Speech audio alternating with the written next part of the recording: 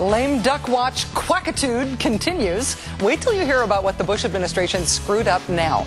This time you will actually be glad they screwed it up. Change you can feel relief about. In just a moment with Jonathan Turley.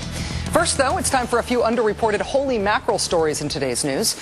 Keeping an eye on the news from where we are at war these days is almost as reassuring as keeping your eye on your 401k.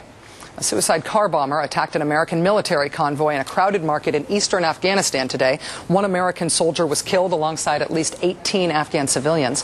Yesterday, there was a Taliban acid attack on a group of Afghan schoolgirls, as well as a huge truck bomb in Kandahar that shook the entire city, flattened at least five buildings, and left a huge crater, as well as a death toll of at least six people across the fuzzy, worrying border into Pakistan, in a country where we are not technically at war, but we sure are something. Things are really bad there, too. In the city of Peshawar, which used to be thought of as fairly safe, two gunmen today blocked the car of an Iranian diplomat on a narrow bridge. They shot his driver and kidnapped him.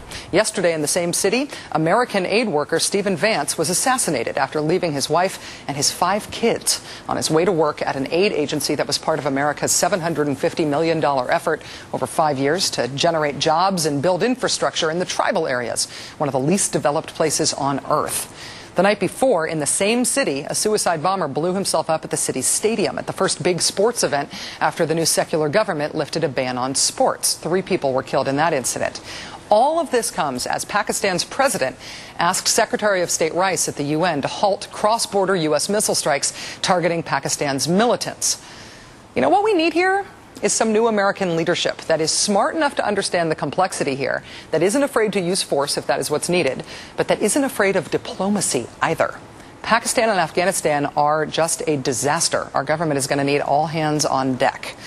But you know, maybe there is reason to hope. The election of Barack Obama is already causing some changes in our relationship with Iraq and Iran. Iraqi Shiite politicians are saying they are inclined toward a new agreement between their government and ours now that the Republicans are out of power here. Since they didn't believe the Republicans would ever really let U.S. troops withdraw, but they do believe that Obama will.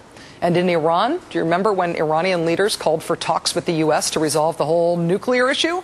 Well, now that Obama's been elected and has said he absolutely will negotiate with Iran, it seems like they're backing down.